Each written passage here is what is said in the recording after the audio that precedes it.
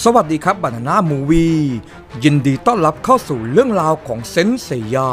Next Dimension ในเวอร์ลุ่มที่ 7 เรื่องราวนะแซงโทรี่ในตอนนี้ นอกจากสงครามกับเจ้านรกที่กำลังปะทะกันอย่างดุเดือดนะครับ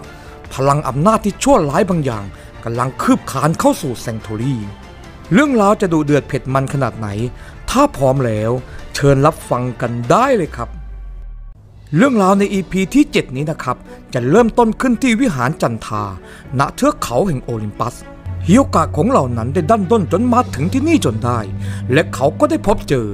มือสังหารแองเจิลที่เคยพบกันก่อนหน้านี้ ไม่ทันได้เจรจากันสักเท่าไหร่นะครับ การจู่โจมนั้นได้เริ่มต้นขึ้นทันที สำหรับแองเจิลนะครับเฮิโอกะนั้นเปรียบเสมือนคู่แขนเก่า ที่ยังสะสางบัญชีแขนกันอย่างไม่จบสิ้น แต่การต่อสู้ของทั้งสองนวิหารจันทานั้น ล้วนอยู่ในสายตาของแม่มดแห่งดวงจันทร์ฮิโอกะนั้นได้หยุดการต่อสู้ และบอกกับแองเจิลว่า ขอเวลาแค่3วัน เดี๋ยวข้าไปทำธุระก่อน และจะกลับมาสะสางบัญชีแขนให้จบสิ้น ในตอนนั้นเองนะครับแม่มดแห่งจันทาก็ได้ตะโกนบอกว่า เฮ้ยพวกนายคือซิกนัทและดาก้อนใช่ไหม อีคิน่ะฝากข้อความมานะ เมื่อซิกนัทนั้นได้ยินข้อความเกี่ยวกับอีคิก็ตกใจนะครับ เอาล่ะเอาล่ะข้าส่งข้อความให้เจ้าแล้วนะอีคิข้าเองก็ไม่อยากตกเป็นเหยื่อฝามพิโรธของเหล่าเทพเจ้า แต่นะอาเทน่าเองก็น่าสงสารเหมือนกัน ไม่คิดเลยว่าจะโดนโคโนสเล่นงานบังเอิญมีชายคนหนึ่งนะครับ มาได้ยินชื่อของอาเทนาจากปากของใหญ่แม่มด ชิลิวนั้นได้ขอร้องให้แม่มดแห่งจันทา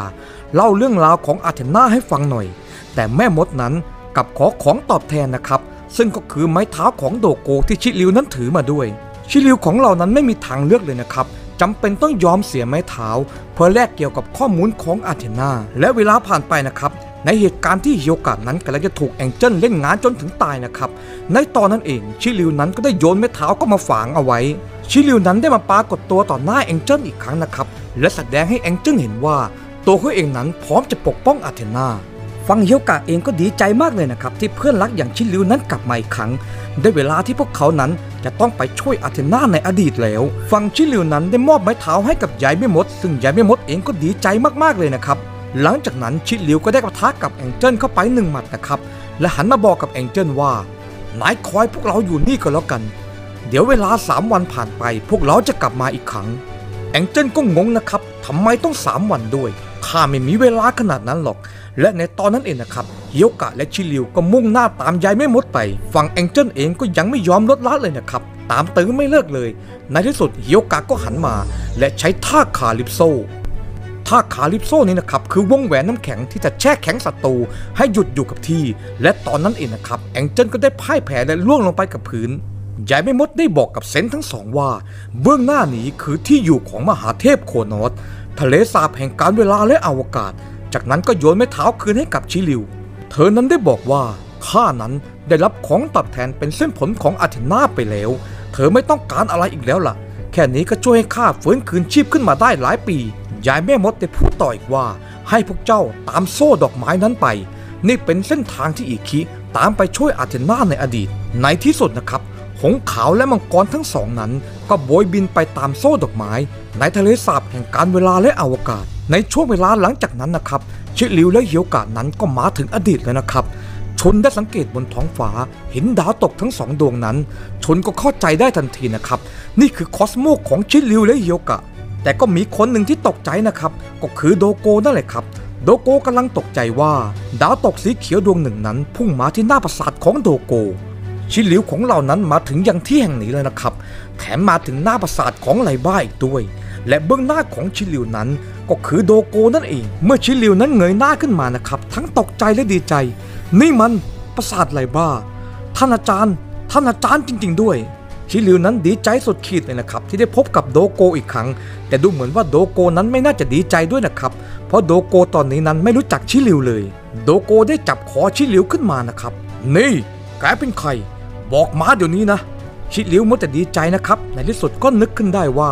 ไม่แปลกใจหรอกที่อาจารย์นั้นจะไม่รู้จักตัวเขา เพราะเขานั้นไปฝึกกับอาจารย์ในช่วงตอนที่อาจารย์แก่ไปแล้ว ชิลิวนั้นได้เล่าเรื่องราวทั้งหมดให้โดโกฟังนะครับ ทั้งเรื่องราวที่ตัวเองนั้นเดินทางมาจากอนาคต และเรื่องราวการพบเจอกันระหว่างตัวเขาและโดโกในวัยแก่ และในตอนนั้นเองนะครับ โดโกก็นึกขึ้นได้ว่า เคยมีเหตุการณ์ที่ตัวเองนั้น มองเข้าไปในชุดคอสคาเคติส ในตอนที่ใส่น้ำอยู่และได้เห็นอนาคต ซึ่งเป็นตาแก่หนังเหี่ยว แย่ละสิ สงสัยว่าที่ข้าเห็นนั้นจะเป็นเรื่องจริงซะแล้ว ซึ่งโดโกตอนนั้นก็ถึงกับรับไม่ได้เลยนะครับ โดโกเองก็ได้พูดขึ้นว่าข้าน่ะเข้าใจทุกอย่างดี และเข้าใจถึงเจตนาของเจ้า แต่ข้าน่ะเป็นคนดื้อรั้น ถึงจะเข้าใจทุกอย่างดี แต่ข้าก็ไม่มีทางให้เจ้านั้นผ่านปราสาทของข้าไปได้หรอก โดโกนั้นได้เล่นงานชิลิวเข้าไปหลายหมัดเลยนะครับถ้าเจ้าเป็น Saint แห่งอาเทนาจริง ๆ ก็จงแสดงจิตวิญญาณของเจ้าออกมาซะ เจ้าจงแสดงจิตวิญญาณและความมุ่งมั่น ที่อยากจะผ่านปราสาทไลบ้าไปให้ได้ โดยการรับหมัดของข้าหมัดมังกรผงาดโลซัน ซึ่งชิลิวนั้นก็ไม่ทำให้ผิดหวังนะครับ ชิลิวนั้นได้ปล่อยหมัดมังกรผงาดโลซันทำให้การปะทะกันครั้งนี้พลังหมัดของทั้งสองนั้นสลายไป โดโกก็งงนะครับ อะไรกันเนี่ยทำไมเจ้าถึงรับหมัดของข้าได้ ชิลิวนั้นก็พูดขึ้นมานะครับ ก็ skill เดิมนั่นแหละอาจารย์ ก็คือท่าไม่ตายที่เห็นมาแล้วหลายครั้ง ไม่สามารถจะใช้กับ Saint ได้หรอกไอ้ skill นี้ก็มีประโยชน์เหมือนกันนะครับโดโกเองก็เริ่มจะเชื่อแล้วนะครับว่าชิลิวเองนั้นเป็นผู้เดินทางมาจากอนาคตที่แท้จริง แต่เรื่องยังไม่จบนะครับชิลิวเองนั้นได้แสดงความมุ่งมั่นออกมาอีกครั้ง โดยเผยเห็นถึงรอยสักมังกรที่ด้านหลัง เชกเช่นเดียวกับโดโกนะครับ โดโกเองก็ได้แสดงรอยสักของเสือร้ายออกมาเช่นกัน เข้ามาได้เลยชิลิวข้าจะแสดงให้เห็นถึงความตั้งใจจริงของข้าเช่นกัน เมื่อคอสโมขึ้นถึงจุดสูงสุดนั้นทั้งคู่ก็ได้ปะทะกันแล้วนะครับ นี่คือการปะทะกันที่รุนแรงมากเลยนะครับ โดยมีชีวิตนั้นเป็นเดิมพัน ในการปะทะกันครั้งนี้ก่อให้เกิดแรงระเบิดแบบมหาศาลทำให้ทั้งคู่นั้นกระเด็นไปค่อนข้างไกลเลยนะครับ เมื่อการต่อสู้ด้วยชีวิตนั้นจบลง โดโกเองนั้นก็เข้าใจถึงความมุ่งมั่นที่แท้จริงของชิลิวเลยนะครับ อีกทั้งยังภูมิใจในตัวของชิลิว ในฐานะลูกศิษย์ที่รักความยุติธรรมเป็นที่สุด มาดูทางด้านฝั่งชิจิมะกันบ้างนะครับ นักเขาวงกฏแห่งเทพเจ้า ในวิหารของเคียวโก สิ่งที่ชิจิมะนั้นได้รับรู้ก็คือ ข้อความเลือดของซุยเคียวที่ส่งตรงมาถึงอาเทนาและข้อความนี้นั้นบ่งบอกถึงการปรากฏตัวของราศีที่ 13 แต่เรื่องราวที่น่าตกใจนี้ชิจิมะนั้นยังไม่ได้บอกใครนะครับ คาร์ดินาลนั้นก็ได้ปรากฏตัวขึ้นมาทันที และได้เข้าเล่นงานชิจิมะ กุหลาบเลือดพิษของคาร์ดินาลพี่ป๋าของเรานะครับค่อนข้างร้ายกาจเลยนะครับแต่เล่นงานชิจิมะจนร่วงลง ชิจิมะในตอนนี้นะครับต้องทำทุกอย่างเพื่อปกป้องอาเทนา นะครับ ชิจิมะนั้นได้ตะโกนให้บอกว่าคาร์ดินาลจงหยุดก่อน ตอนนี้แซงโทรี่นั้นกำลังจะเกิดหายนะครั้งยิ่งใหญ่กำลังจะเกิดการเปลี่ยนแปลง โดยการมาของบุรุษผู้หนึ่ง Gold Saint คนที่ 13 กำลังจะฟื้นคืนชีพขึ้นมาแล้ว วิหารลำดับที่ 13 ที่สาบสูญไปนั้นกำลังจะปรากฏขึ้นมาที่แซงโทรี่นี้อีกครั้ง เรามาดูทางด้านฝั่งช่วงเวลาปกติกันบ้างนะครับไชน่าได้รับหน้าที่คุ้มของเซย่านะครับที่นั่งเป็นผักอยู่กลางสวน แต่สภาพของไชน่าตอนนี้นะครับมีท่าทางแปลกๆไป ซึ่งมารีนเองก็เริ่มสังเกตได้นะครับ ถึงแม้มารีนจะสอบถามเรื่องราวของไชน่านะครับ แต่ก็ไม่ได้คำตอบอยู่ดีนะครับไชน่าก็ตอบเพียงว่า ไม่มีอะไรเกิดขึ้นทั้งนั้นไชน่านั้นได้ขอตัวก่อน เธอนั้นเดินทางไปยังสถานที่หนึ่งในแซงโทรีและที่ที่ไชน่าไปนั้นก็อยู่ลึกเข้าไปด้านในนะครับ ที่ตั้งนี้อยู่ระหว่างปราสาทไลบ้า และปราสาทของสาจิตทาเลียส ความรู้สึกแปลกๆในครั้งนี้นะครับบ่งบอกให้ไชน่าเดินตรงมายังสถานที่แห่งนี้ และตอนนั้นเองนะครับ มารีนั้นก็ได้ปรากฏตัวขึ้น มารีนั้นสังเกตเห็นถึงความผิดปกติที่เกิดขึ้นกับเพื่อนรัก เธอนั้นได้สะกดรอยตามไชน่ามา และก็ได้พบว่ามีซากวิหารหนึ่งกำลังปรากฏขึ้น ซึ่งในซากวิหารเก่านี้นะครับ มีคอสโมที่ล้นแรงค่อยๆประทุขึ้น ในเหตุการณ์นี้นะครับทำให้มารีนของเหล่านั้น นึกเรื่องเก่าแก่เรื่องหนึ่งขึ้นมาได้นะครับ หรือว่านี่คือปราสาทมารที่สาบสูญปราสาทของราศีที่ 13 ถึงเรื่องราวนั้นจะเป็นเพียงการคาดเดานะครับ แต่สภาพของไชน่าตอนนี้ก็ค่อนข้างแย่เลยนะครับไชน่านั้นเริ่มที่จะปวดหัวและไม่สามารถจะควบคุมตัวเองได้ กลับมาที่โลกอดีตกันอีกครั้งนะครับ ชิจิมะเองก็ได้คุยเรื่องนี้กับคาร์ดินาลเหมือนกันนะครับ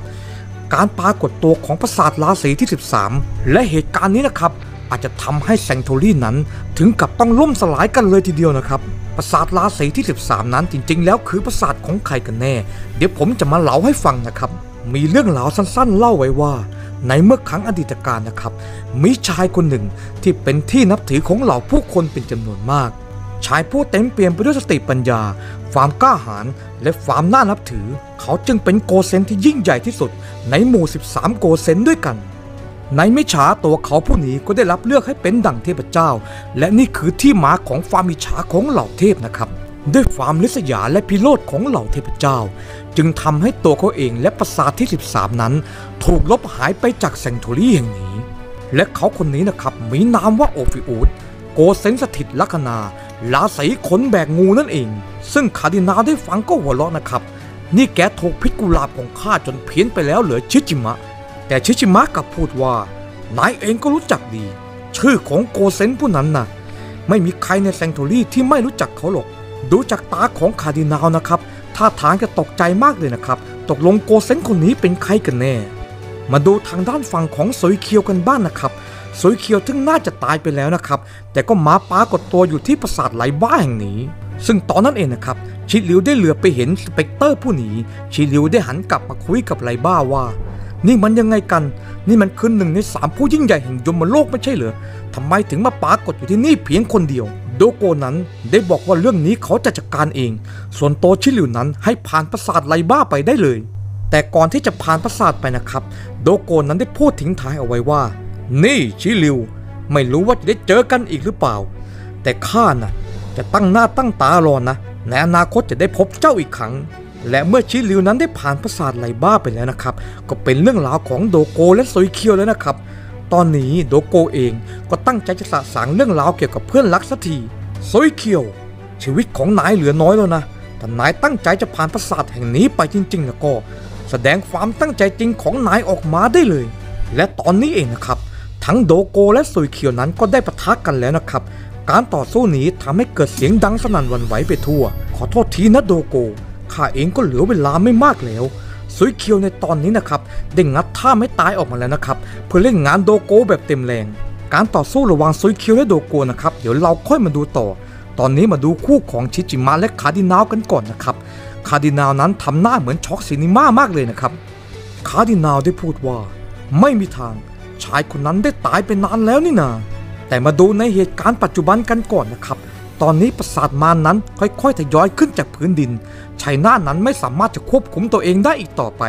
เขาได้เข้าเล่นงานมารีน การจู่โจมที่หมาแบบไม่ตั้งตัวนะครับทำให้มารีนนั้นต้องตั้งรับกันแบบพลวัน ทางด้านฝั่งมารีนนั้นพยายามตะโกนให้ชัยนานั้นหยุดก่อน แต่ชัยนานั้นก็เหมือนจะไม่ได้ยินเลยนะครับ จนในที่สุดแล้ว มารีนก็ตัดสินใจจะจู่โจมใส่เพื่อนอย่างเต็มแรงเลยนะครับ การปะทะกันของสองท่าไม่ตายแห่ง Silver Saint อันร้ายกาจนะครับ ส่งผลให้เกิดแรงระเบิดสนั่นหวั่นไหว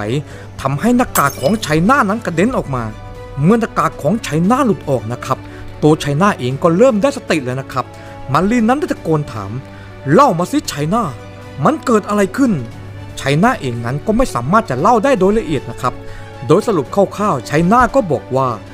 ตอนนี้ cosmo อันมหาศาลกำลังจะเข้ามากล้ำกราย Sanctuary กลับมาดูทางด้านฝั่งโลกอดีตกันบ้างนะครับ ถึงสุยเคียวนั้นจะโจมตีโดโกแบบเต็มแรงนะครับ แต่หอกน้ำแข็งในครั้งนี้ก็ไร้ซึ่งพลังใดๆ cosmo ของนาย มันตกลงไปเยอะเลยนะซุยเคียว คอสโมอันเบาบางนี้ทำอะไรข้าไม่ได้หรอก เอาล่ะซุยเคียว จงเล่ามาสิว่ามันเกิดอะไรกันขึ้น ตอนนี้นะครับโซยเคียวเองก็ย้อนลำบากลำบนอยู่คนเดียวนะครับพร้อมกับหลั่งน้ำตาไปด้วยโซยเคียวนั้นได้ยอมเล่าเรื่องราวทั้งหมดให้กับโดโกได้ฟังแล้วนะครับ มาดูทางด้านฝั่งเทมมะและชุนกันบ้างนะครับ ตอนนี้ทั้งคู่นั้นได้บุกจนมาถึงปราสาทลาสีกันแห่งนี้ทั้งคู่นั้นเริ่มจะสังเกตแล้วนะครับว่า นี่มันเป็นปราสาทที่เงียบงันเสียเหลือเกิน แต่ตอนนั้นเองนะครับก็ได้พบกับก้อนเปลวไฟที่อยู่ตรงหน้า นี่คือ cosmo ของชิจิมะนั่นเองนะครับ cosmo ที่จะคอยพิทักษ์ปราสาทแห่งนี้ และจะไม่ยอมให้ผู้ใดได้ผ่านไป นี่คือโวโก้ชิจิมะนะครับ ในเวอร์ชั่นของ cosmo นะครับ ทั้งคู่นั้นได้ถูกโจมตีจนร่วงลงนะครับ การโจมตีในแต่ละครั้งนั้นหนักหน่วงขึ้นเรื่อยๆนะครับ และทั้งคู่นั้นจะทนได้ยังไง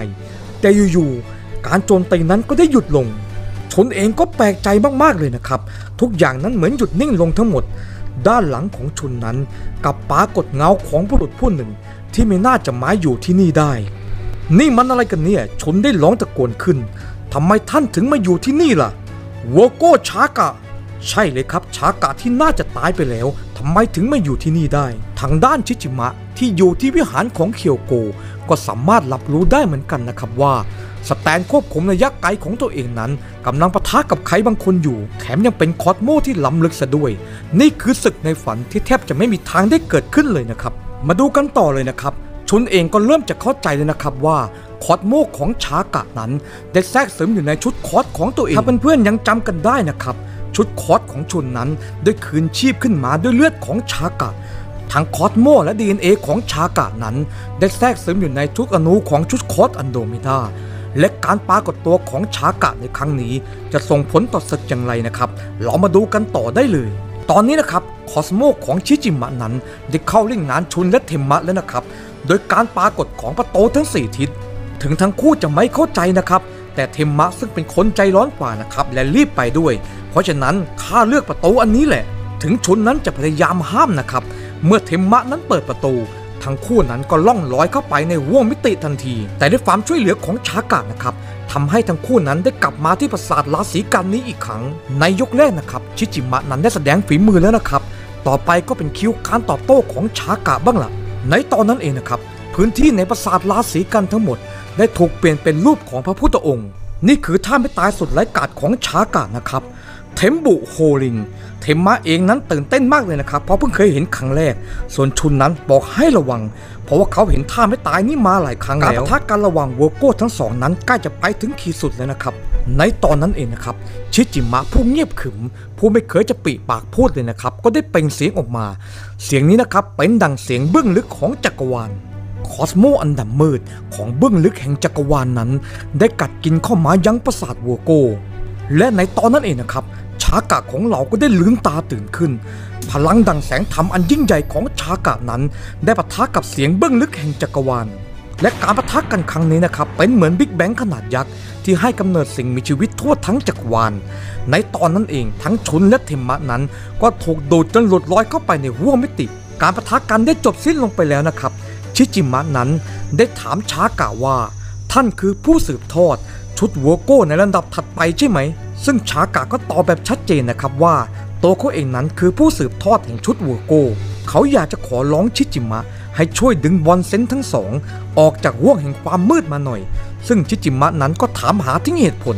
ซึ่งคำตอบที่ชากะนั้นพูดขึ้นมาก็ทำให้เราได้รับรู้ความจริงบางอย่างนะครับ เขานั้นตั้งใจที่จะมาปกป้อง Bronze Saint Andromeda เพราะว่าเขานั้นจะกลายเป็น Gold Saint Virgo ในลำดับถัดไป ชิจิมะเองเข้าใจดีแล้วนะครับว่า นี่เองสินะเป็นเหตุผลที่ทำให้ Gold Saint Virgo ทั้ง 3 รุ่นนั้น มาพบกันยังพื้นที่อดีตแห่งนี้ เมื่อภารกิจเสร็จสิ้นนะครับ ชากะเองก็บอกว่า ตัวเขาเองนั้นจำเป็นต้องกลับไปดินแดนแห่งนิพพานแล้ว ส่วนที่เหลือคงต้องฝากท่านต่อด้วยแล้วกันนะโวโก้ชิจิมะเรื่องราวความวุ่นวายของปราสาทราศีกันนั้นได้จบสิ้นลงไปแล้วนะครับ คอสโมของทั้งสองนั้นได้หายไปจนหมดสิ้น ตัดไปทางวิหารของเคียวโกนะครับ ซึ่งชิจิมะเองนั้นเข้าใจถึงเหตุการณ์ดีแล้วนะครับ เขายังได้พูดว่าชากะนายอาจจะเป็นเซนโวโก้ที่ใกล้เคียงพระผู้เป็นเจ้ามากที่สุด แต่ตอนนี้ชิจิมะเองนั้นก็มาถึงขีดสุดแล้วนะครับ จากการโจมตีของคาร์ดินาลทำให้ชิจิมะนั้นสลบไป และในที่สุดนะครับฝั่งคาร์ดินาลนั้นก็ได้ตามล่าอาเทนาจนสำเร็จ และตอนนี้เขาตั้งใจที่จะตัดหัวของอาเทนาสถานการณ์ฝั่ง Sanctuary ตอนนี้นะครับช่างเลวร้ายเสียเหลือเกิน อาเทนานั้นตกอยู่ในมือของคนทรยศ เรื่องราวสุดเข้มข้นนี้จะเป็นยังไงต่อนะครับ คงต้องติดตามกันต่อใน volume ที่ 8 และแล้วเหตุการณ์การต่อสู้ของคลิปวอลลุ่มที่ 7 ก็จบลงแต่เพียงเท่านี้นะครับ และในระหว่างคลิปนะครับ ถ้ามีจุดผิดพลาดประการใดก็ต้องขออภัยไว้ณที่นี้ด้วยนะครับ เหตุการณ์นั้นเข้มข้นและกระชั้นชิดเข้ามาทุกทีเลยนะครับ ใกล้ที่เราจะได้พบกับโกเซนลาสีที่ 13 กันแล้ว และสำหรับในคลิปหน้า รับรองไม่รอกันนานแน่นอนนะครับแอดมินกำลังรีบปั่นอยู่เลยนะครับ และเหมือนเดิมนะครับก่อนจากกันไปรบกวน FC ทุกท่าน กดไลค์และกดแชร์เพื่อเป็นกำลังใจให้กับทางทีมงานด้วยนะครับ แล้วเดี๋ยวเจอกันใหม่คลิปหน้าครับ ขอบคุณมากๆเลยครับ ขอบคุณครับ